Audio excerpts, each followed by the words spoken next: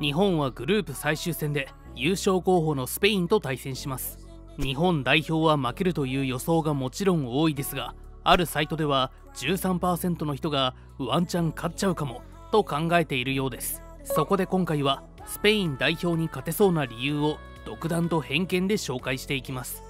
この動画を見た後ぜひ皆さんの意見を聞かせてください。スペインフットボール連盟はカタールワールドカップに向けた招集メンバー26名を発表。グループ E で日本ドイツコスタリカと同居するスペインの代表メンバーが決定。サプライズの一つは当確と目されていたアトレティッククラブディフェンダーイニゴ・マルティニスが戦外となりました。その代わりにバレンシアディフェンダーウーゴ・ギジャモンが選出ギジャモンはバレンシアでアンカーを務めていますがルイス・エンリケ監督率いるスペイン代表に招集される際には本職のセンターバックとしてプレー。今回もディフェンダーでの招集となったことから監督はディフェンダーに攻撃能力を重視していることが分かります。そしてもう一つのサプライズはバルセロナ所属の20歳フォワードアンスパティの復帰です。怪我も多くルイス・エンリケ監督のもとでは選ばれてこなかった FC バルセロナの10番。ルイス・エンリケ監督は最終的に個の力としてアンスパティを必要とした形なのでしょう。年齢構成が若いチームと言えるので勢いに乗れば強いですが不安定感も拭えません。次の大会は優勝を本気で狙いに行くチームになると思いますが今回は若手に託した形ですね。東京オリンピックで日本代表を苦しめたフォワードオヤルサバルは怪我で戦外となっています。スペインの FIFA ランキングは最新で7位となっています。7人が FC バルセロナの選手で監督のルイス・エンリケも FC バルセロナで指揮を執りその影響を強く受けた監督です。つまりクラブチームで醸成されたコンビネーションをそのまま代表に持ってくるところが強みと言えるでしょう。2010年南アフリカワールドカップではシャビイニエスタを擁して FC バルセロナを軸としたスペイン代表が初優勝を果たしました。今大会も中盤にペドリガビブスケツら FC バルセロナの選手を軸にして南アフリカ大会の再現を狙います。ドイツ代表のハンジ・フリック監督もそうですがルイス・エンリケ監督も FC バルセロナの監督として欧州チャンピオンズリーグを制した世界トップクラスの実力と成績を残した監督です。FC バルセロナの戦術をベースに優秀な監督のもとで完成度が高いサッカーをするところがスペイン代表の強みとなります。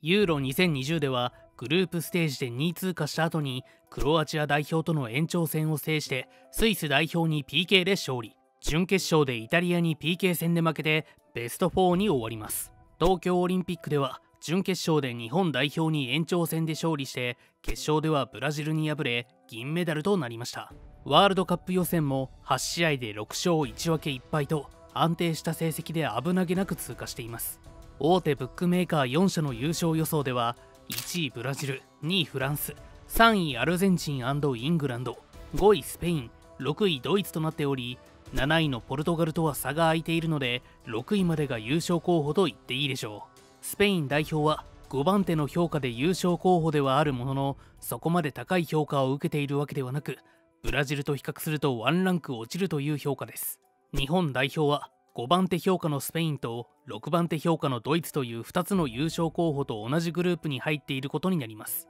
グループ発表の時から言われているように最悪のリーグと言っても間違いありません。しかしトーナメントに行かず優勝候補2チームとの試合を見ることができるのは楽しみでもありますね。そんな強豪国スペイン相手に日本が勝つ可能性があるのか見ていきたいと思います。中盤の主軸は18歳のガビと19歳のペドリ。左ウイングで得点力を期待されるアンスファティは20歳。3人とも FC バルセロナの選手で連携は間違いないですがワールドカップの経験は初めてです。そのスペイン代表が軸とする FC バルセロナは今季不調でありチャンピオンズリーグもグループステージで敗退しています。FC バルセロナ自体が若い選手を地道に育てていく時期なのでスペイン代表も同じですね。センターバックもバウトーレスとエリック・ガルシアと東京オリンピックでコンビを組んだ若手2人が軸となります。一時代を築いたセルヒオ・ラモスとピケのコンビが長く続いたため今回のメンバーは経験値が少ないです。これまでレアル・マドリードを中心とした選手たちと FC バルセロナを中心としたカタルーニャ地方の選手たちがうまく融合できた南アフリカ大会は強かったですがそれ以外の大会で優勝がないのは歴史的経緯から2つのアイデンティティが衝突するスペイン代表が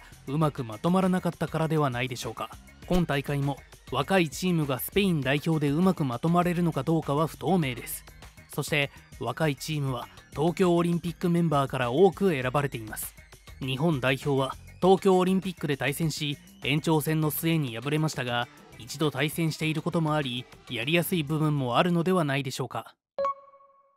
スペイン代表が FC バルセロナをベースとしていることを説明してきましたがその FC バルセロナのエースストライカーはポーランド代表のレバンドフスキ。レバンドフスキはリーガ・エスパニョーラで14試合で13得点と大活躍していますが当然スペイン代表には招集できません。ストライカーと呼べそうなのがユーロ2020で活躍したモラタですが今シーズンは14試合で5得点とワールドカップで優勝を狙うチームのフォワードとしては寂しい数字と言わざるを得ません。そしてモラタより得点を取っている選手もいませんからストライカー不足は深刻です。モラタ自体が好不調の波が激しく決定機を外しがちな選手なのでスペイン代表は常に決定力不足という悩みを抱えています。エムバペやハーランドレバンドフスキのようなワールドクラスのストライカーがいないので東京オリンピックのように日本代表としては守ろうと思えばある程度は守れる相手と言えるでしょう。そもそも日本とスペインの実力差云々の前にサッカーという競技自体が圧倒的に他のスポーツよりも番狂わせが多いスポーツです。実力差があっても結果がわからないところがサッカーの魅力で今シーズンの天皇杯では J2 で18位のバンフォーレ甲府がまさかの優勝をしています。リーグ戦では年間通じた成績になるので実力差通りになりやすいですが一発勝負のカップ戦では何が起こるか分かりません。これまでのワールドカップでもベスト8には高確率で前評判が低い番狂わせで勝ち上がってきたチームが1チームぐらいは出てきます。前回大会でクロアチア代表が準優勝したのはサプライズでしたね。当然日本代表にもスペイン代表に勝つチャンスがあるということになります。ちなみに大手ブックメーカー3社が設定した日本のカタールワールドカップ優勝オッズは251倍。日本代表が優勝する可能性は低いですがもちろんゼロではありません。スペインから見て日本代表はどう見えるでしょうか？スペインの日刊紙エル・パイスは当時20歳だった武宏冨安などをいち早くスタメンに定着させチームの改革に着手した。4年前からレギュラーとして起用しているのは前谷吉田と弘樹酒井の2人だけだ。監督が常に先発の座を失ったベテラン選手に対して敬意を払ってきた。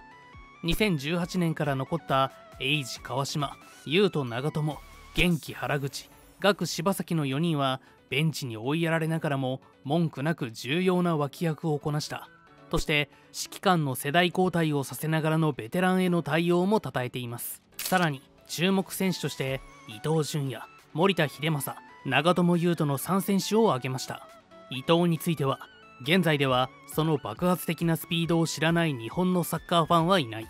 森保監督は個人技に長けたウイングを就任初戦で起用しその後も使い続けている。伊藤は森保の右腕だという声もありそれは伊藤の代表チームにおける重要性を反映している。と攻撃の中心的プレイヤーであると指摘。また森田には決して派手な選手ではなくむしろ守備でも攻撃でも完璧なポジション感覚を持つハードワーカーである。こうした役割に特化した選手は必ずしもパスがうまいとは限らないが森田は技術的な質だけでなくパスの正確さでも際立っているとして特徴を記しています。さらに長友はベテランとしてのキャリアも評価しており批判されればされるほど強くなると公言する長友は今年36歳になったが最もエネルギッシュな選手であることに変わりはない。過去には調子が悪いと批判されたこともあったがいつも優れたパフォーマンスで立ち直る。これは15年前に初めて日本代表となった時から変わらない。と綴っています。スペインの有力紙マルカは日本代表についてこのように紹介しました。日本はワールドカップの常連チーム。1998年のフランス大会以来出場を逃しておらずカタール大会では7大会連続で本大会に進出することになった。イレギュラーな始まりになった予選を日本は森保監督を中心とした素晴らしいラストスパートで突破した。南野拓実久保建英冨安健洋遠藤航古橋京吾はいずれも欧州サッカーの経験を持ちそれを代表チームに持ち込んでいる。日本はダイナミズムがありいつ見ても楽しいとコメントしていますドイツと比べると日本代表への警戒は薄く久保建英が注目されていますが日本代表へはあまり興味がなさそうですね。付け入る隙はドイツよりありそうです。スペイン代表メンバーが発表されたことに対する日本のネット上の反応をまとめてみました。いい選手がたくさんいるのは間違いないけどすごく若いチームだなって印象。クラブレベルでもスペインは調子悪いしここに日本は勝つと思ってる。10年前のミッドフィルダー陣が実質世界選抜みたいな感覚だったので今のメンバーバケモンすぎる感覚はないな。ミッドフィルダーは熱いけど他はそうでもないな。それ以外だとキーパーが比較的揃ってる感じ。とそれほど恐れるほどのメンバーでもないという反応が多かったですね。実際に今年のバロンドール候補のノミネート30人からスペイン人選手は1人もいませんでした。ちなみにドイツには2人いました。というわけで若くて次世代のスーパースターになる可能性がある選手はいても優勝候補としては物足りないというのが全体的なスペイン代表への印象となります。いかがだったでしょうか？スペイン代表にどうせ負けるでしょ？と思っている人も多いと思います。東京オリンピックでは0対0で延長戦の末に敗れましたがあの試合では三笘薫と冨安健洋が怪我で起用できませんでした。ネットでもドイツ戦同様にスペインにワンチャンいけんじゃね？派といやいや無理だろう。派の間で白熱した議論が行われています。個人的には試合が終わるまでどこかで希望を持っていたいので日本代表がスペイン代表に勝つ可能性をぜひコメント欄で教えてください。それではまた。